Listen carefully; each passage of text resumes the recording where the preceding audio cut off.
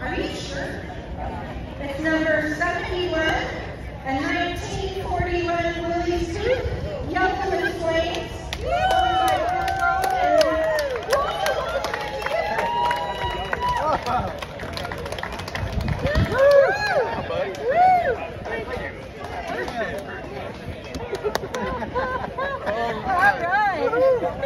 Don't mess this up, Brad.